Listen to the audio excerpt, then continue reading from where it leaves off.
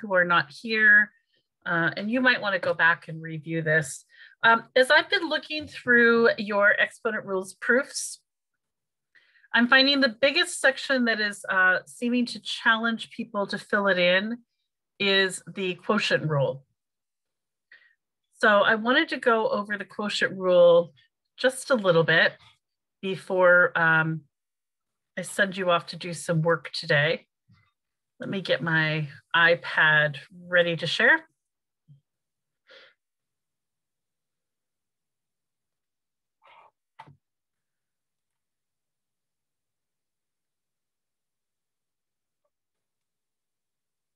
Okay, so the quotient rule. As you'll see on that exponent rules proofs document or the um, the notes that you've been taking with Mr. Kraft, who will be here shortly. Um, he had a commitment.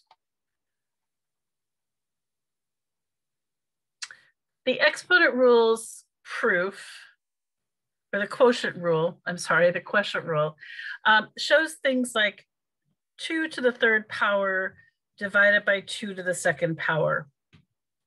And the filled out one is showing that what we would do in that case is show 2 times 2 times 2 divided by 2 times 2. And then it shows that we cancel these, leaving just two to the first power. And then it has you looking at three to the seventh over three to the fourth.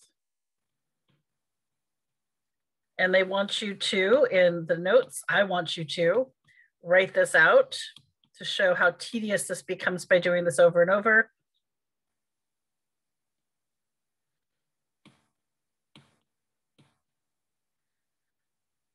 and that these would get canceled. But I want to talk a little bit about why they get canceled. So let's go back to this first one. Because the, the exponent properties or the exponent rules are really just there to make our life a little bit easier. Oops, I just wrote a three when I meant a two. Um, they're meant to make our lives easier. They're shortcuts. And so I want us to connect this to things that we already know. We don't just cancel these out, we cancel them out because we know that I could also rewrite this as 2 over 2 times 2 over 2 times 2 over 1. Where did the 1 come from? Well, it really came from anything times 1 is itself.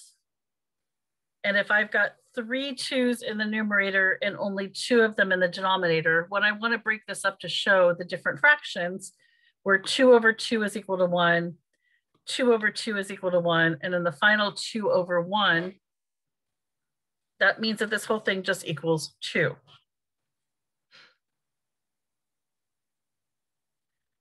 What's really happening here that's the shortcut is I'm taking the exponent from the numerator.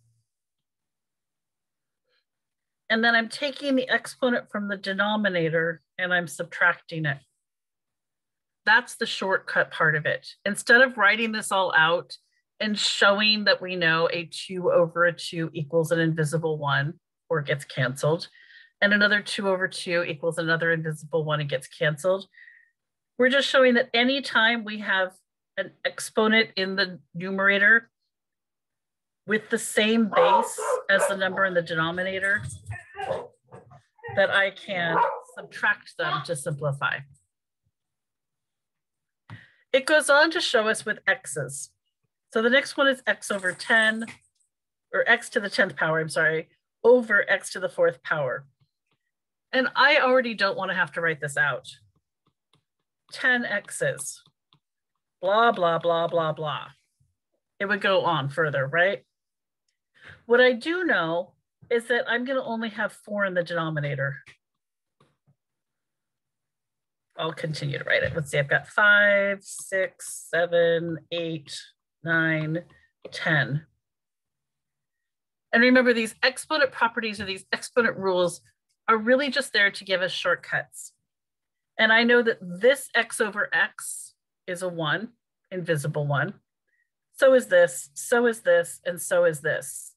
So I can cross them off. What does that leave me with? Six x's in the numerator. So that's x to the sixth power. A much shorter version of doing this would be to just take this and say, look, I know that this is what it's going to be in the drawn out long version. So I'm just going to say x to the 10th minus 4 equals x to the 6th power.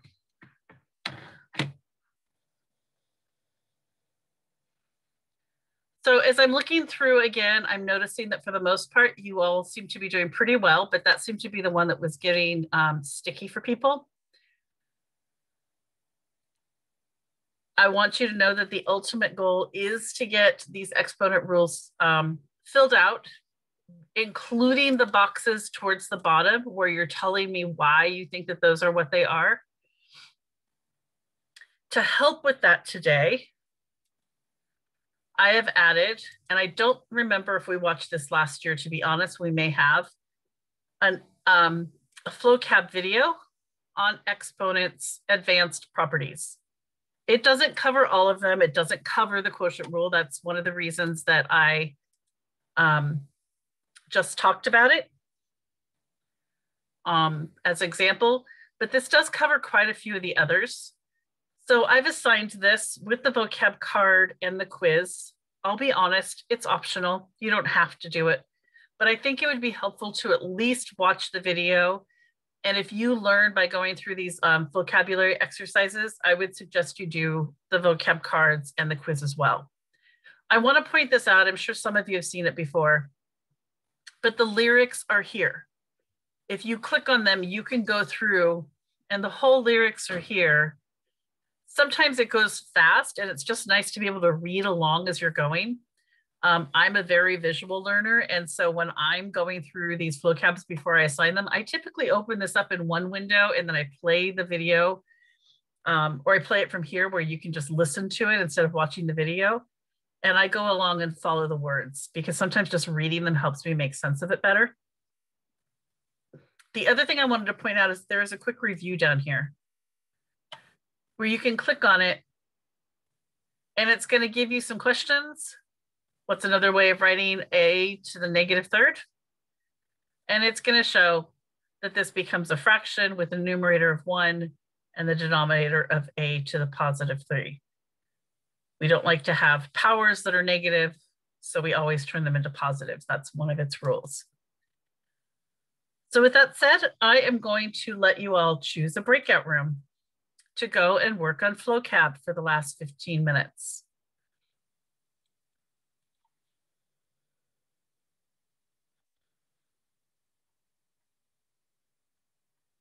So if you could go ahead and change your names.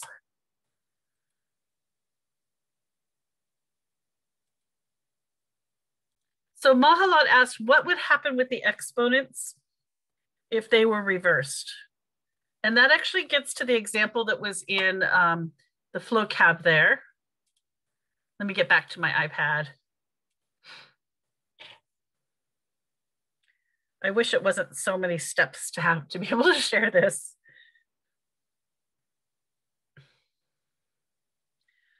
So if I had x to the fourth over x to the 10th, is that what you mean, Mahalat? How would that work?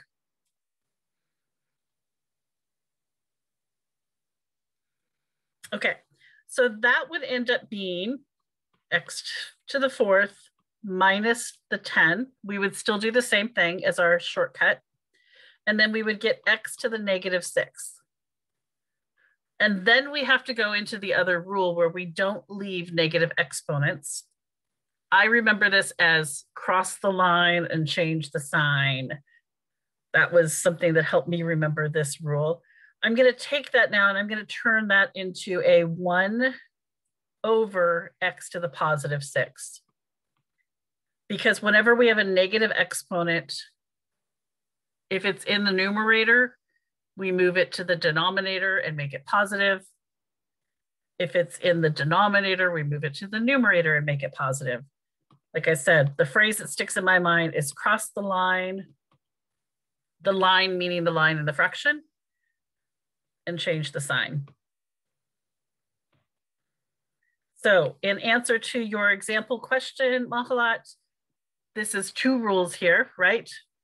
First, I have the rule where we have subtracted the exponents. And then we have where we have a negative exponent, so we turn it into a positive, and this would be the answer down here.